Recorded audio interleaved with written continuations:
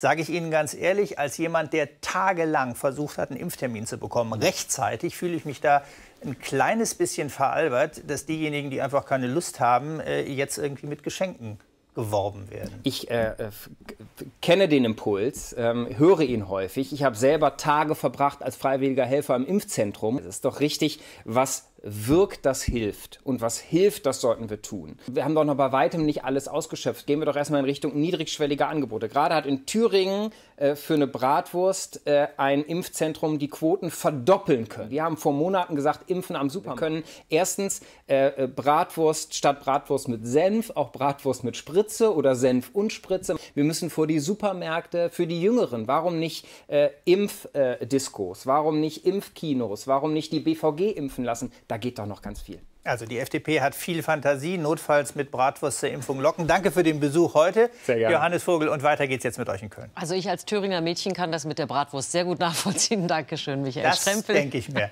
Grüße ins Hauptstadtstudio. Als Rheinländer nehme ich dann Kölsch, Blutwurst und wegen mir auch Erdbeerkuchen dazu. Sehr gerne und die Spritze dann, wenn es sein muss.